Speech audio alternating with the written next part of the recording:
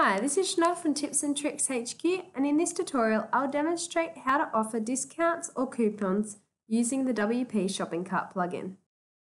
To allow your customers to use discount codes, we'll firstly need to add a field within the shopping cart. This way, the discount can be applied before our customers make a payment. So we'll need to head to our settings in the dashboard and once we've completed that configuration, our customer will be able to enter in a coupon right here. So we go to the dashboard, go to Simple Cart, Coupons. Once you're in coupons, you'll need to check this box here so that when your customers check out, they'll be able to enter in a coupon code. So I'll update that option.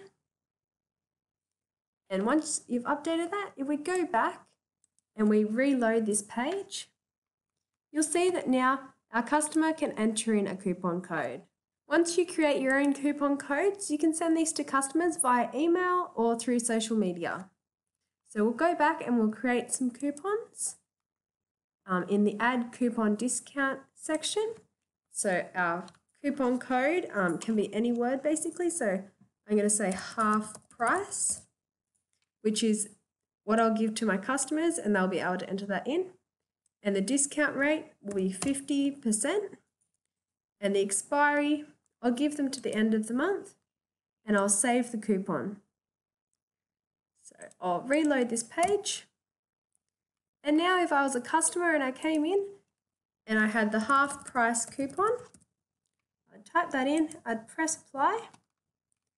And as you can see, that's applied. Um, my item was $2.95 and with the discount code, it's $1.48. So from here, once they've applied their discount code, they're easily able to check out with PayPal. So I'll now head back to my dashboard and as you can see, the coupon code we've created is saved here. I'll create another one now. So this one's 10% off, discount rate 10%, and the expiry, I'll only give them till tomorrow. So I'll save the coupon again.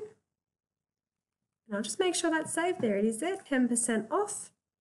And if my customer was to be sent this coupon, reload the page quickly. And they came and they added this to cart.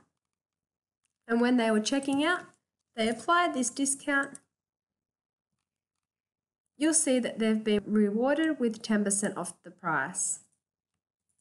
So as you can see, it is quite simple to create discount codes and apply them to products. If you still have any questions, head over to the forum or email us.